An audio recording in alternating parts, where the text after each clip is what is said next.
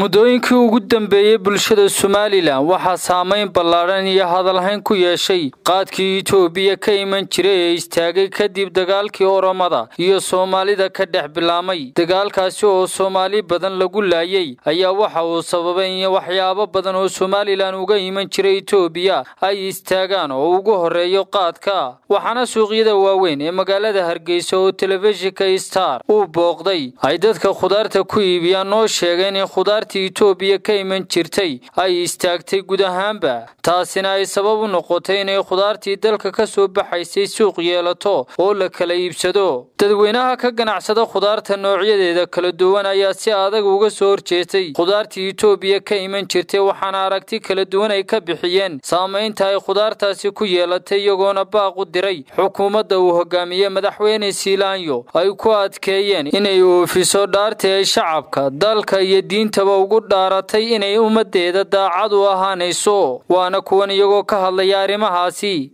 Dalku horta marka hore wuu isku dhisnaa. Meel kale oo imaka wax inooga furan yihiinna ma haynaba. Tootalis etoobiyaaba annaga haddaanu nahay danyarta. Etoobiyaaba deked noo hay. Tootalis annaga histariga iyaga etoobiyaaba deked noo hay. Dadku waa kala gaar ganacsatadu waa kala gaar. Nimanka de muwaaridlaha هنكرده له أه، كنت درده صورة ونيا أنا جم أنا شيء هذا نطير تسوقنا. هذا نهاية حواش لياشي يا ميرا دمر كي قنع سطلا هاي برد هذا تاجو كي قنع سطلا أنا جاي توبي أدك دواه توبي أنا وأنا رجع مر كي يجا فرنا وحنو كعبنا إنا أنو عب إلههم بره الله عوض. إلى هذا الله ما عوضه. لكن وحنو كعبنا إنا وح أنا جنا هاي سطلا طيرتي هذا نهاية ganacsatadii yaryarayda ee shiraaqle ee suuqa haddaanu nahay horta dawladdii annaga hoos nooma eegin waa dadkii isku dul baktiyey cidina dan nagama laha dadkaa kuraasida fadhiyaana ayagunbaa buuxbuuxsaday cidu kuma arkaysa afka buuxso ayay noqdeen cidu kuma arkaysa afka buuxso nimanka ah. Ee laandaruusalka sidaa u sita iyo aqalka fooqaa dhistay waxaad tidhaahdaa waa adigii ku dhaaranayay dalkayga dadkayga dalkayga iyo dalkayga. Inaanu daacadahay baa iga wallaa oo iga bilaa axdi ilaahay waa adigu ku dhaaran jiray. Dalkaagaa taagantay xaggay dadkiisii kuugu riday footo iska xaggay qabteen. Intaasaa iga dardaaran ayadoo aynaan qudaartii kale innagu aynaan beeran sida kaabashka baytaraafka kaararka baradhada. Taasoo ay beeraleedu ahmiyad سندك في عنها شلون دخل في رمضان اي هالشيء دخل آه وفي رمضان وهكيش قدرتي يريدوا يسوق جرتي أيضا قدرتي مركي تماضو تيتوبيا ما جرتي دبيتنا قرعج كل عشرين tabaandhadoodo kale la daadin jiray tabaandhada wadanadaa la daadin jiray markaa iminka saxaradii tabaandhada waxay maraysa boqol sideed sanadkii horena waxay tagtay labaatan kun oo shilin markaa waxa weeye waxaan jaalis wanaagsan ayaa dadka waddanka u soo baxay ahmiyad bay helayaan. Waxa inoo wanaagsan in waddankana baxso lacagtuna waxay ku gelaysaa waddankii oo ay ku soo noqonaysaa meheradii wax laga iibsanayaa maxaan ku dhahdaa dadkii baa dakhli helaya beerihii baa ahmiyad helaya. Xabuubtii ay daadinayeen ee ta etoobiya ay ganac jabinaysay ayadaan dowladdu kaantaroolay oo dadkii aad waddo inay waddaniyad ay ka maqan tahay waddaniyaddii dalkiinna inay dalkooda wax kala soo baxaan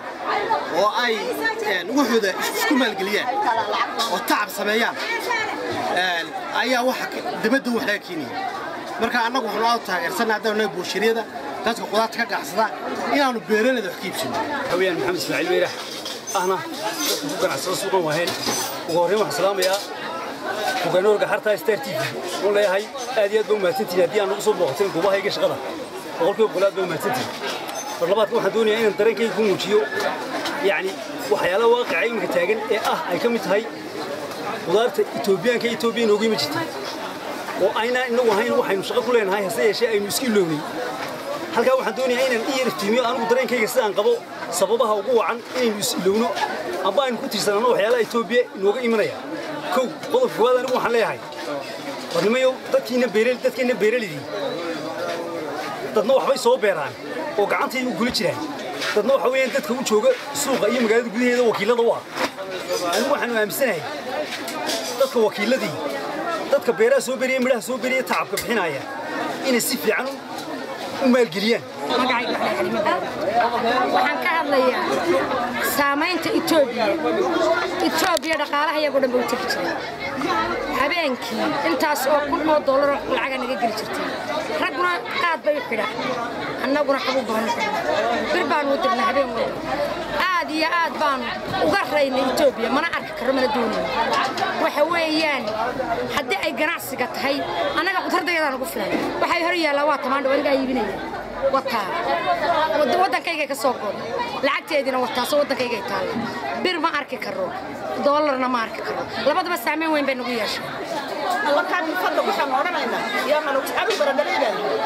shan jeer bisha shan jeer bay gaarigu ii soo geli jiray oo baradhada haddana waxaa leeyaa manugu soo fasikin kale baradhada shan jeer shan baa gaari bishii fasikaan ahaa yaa manugu soo fasikin dowladda etoobiya mid weyn ayay nagu haysay dhibaato weyn bay nagu haysay dalkayga waanu ka higi kacnay darayga waanu ka higi kacnay lacag hawl yar lacag ubaanu qadno dadna wax dhib yar ubaanu soo qaadano aanu kala bedelnay marka aniga dareenkayga waxa weeyaan in dowladda etoobiya sidaa ku hakaraato somalilandna ay dalkeeda ku soo noqotay wax ka beerato.